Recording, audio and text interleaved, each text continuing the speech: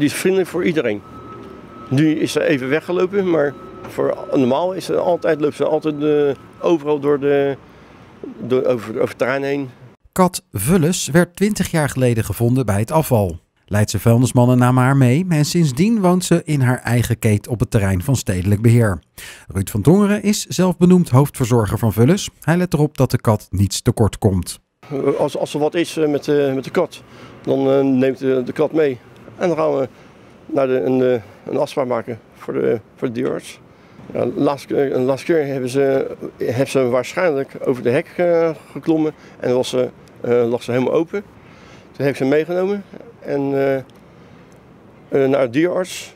En toen hebben ze, ik en mijn vrouw hebben we wezen, wezen verzorgen. Tien dagen.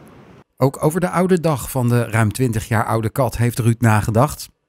Nou, als, uh, als het heel slecht gaat worden, dan uh, hebben we over nagedacht om ze mee naar huis te nemen. Na haar overlijden blijft Vulles bij de vuilnismannen.